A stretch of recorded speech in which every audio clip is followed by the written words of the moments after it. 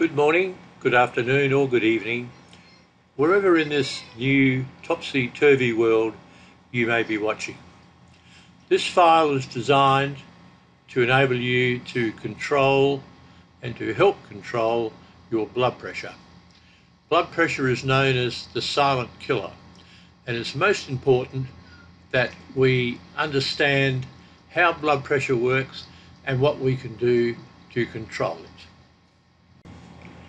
The file is completely downloadable for free for your own use from the link in the description below the video.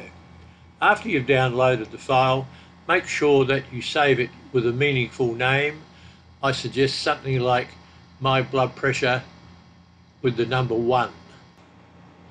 The reason for the number one is that in time you'll tend to fill up the table with your own information and you'll need to create a new blank set of data uh, for future use. And I'll talk to you later about how to do that and to save the uh, new file with the blank data, for example, as my blood pressure 2. So let me say at this stage it's important to watch the video to the end, not only for the save procedure, but also because after the video finishes with the procedures, there is a sheet which will appear with lots of information about blood pressure. Now it's time to have a quick look at the file itself. This example is how your own data will be shown. You'll notice that there is an area here for your personal details and some information about your doctor. And over here in the table, you would complete the date, your systolic and diastolic reading, and your pulse. I might add that the pulse uh, reading is entirely up to you. It's not mandatory, but of course you will need to enter in your blood pressure readings themselves. As you enter your personal data, you'll notice that the chart over here will update automatically. You don't need to do anything, just enter in the information and as we shall see very shortly, the chart, as I said, will update automatically. Now the first thing you'll need to do is to look in the bottom left hand corner where you'll see a sheet called My Blood Pressure Data. When you click on that, you'll be taken to a blank screen awaiting your information. So you would enter in your name uh, and your doctor's details and then very importantly over here in the table you would enter in information such as the date and your readings. So let's see how that works in conjunction with the chart. Now the date of course will depend on your visit to the doctor or from your use of the of, of a home use blood pressure reading machine, a brand for which I've recommended in the information sheet at the end of the video. So let's say that our first date was the 3rd of April 2020 and your blood pressure reading was 135 over 75 with a pulse rate of let's say 80 and you'll notice that the chart here has automatically updated as I go to the next screen or press enter. So a week later on the, on the 10th of April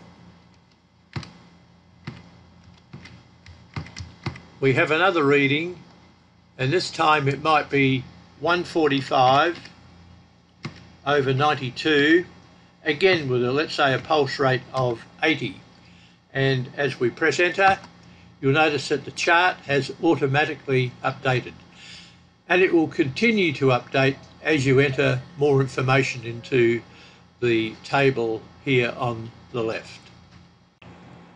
You may well say why do I see colours in the cells here in the table? That's because I've put a little warning situation here saying if the systolic reading is greater than or equal to 140, colour that cell in that particular colour so that it stands out. Similarly, in the diastolic reading, if the diastolic reading is greater than or equal to 90, then colour the cell in blue so that it stands out. And it stands out because the blood pressure reading is high and we need to be aware of that. Now in time, of course, and obviously, you will fill the table and get right down to the bottom here with dates and information.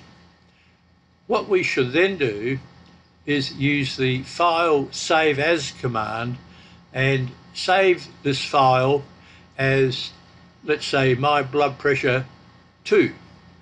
What you then need to do in that new file when you open it is to delete the information from the first date cell down to the last pulse reading.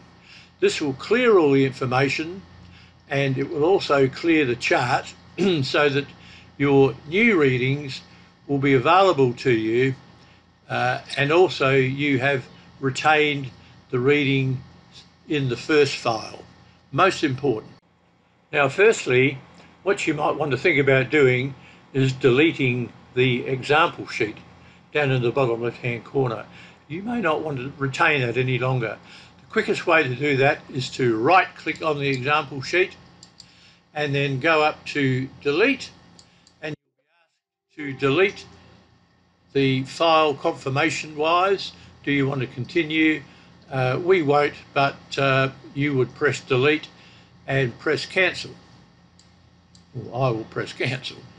Um, the second thing that you could think about doing is to keep your doctor updated with your blood pressure uh, tracking and to do that you could save the file or files to a memory stick or you could email the files to your doctor to the email address that you've included in your personal details.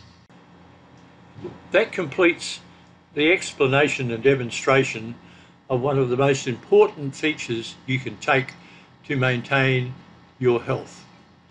Stay tuned for the information sheet which follows now and I'd like, like to thank you very much for watching and if you have any comments or questions please let me know in the YouTube playback.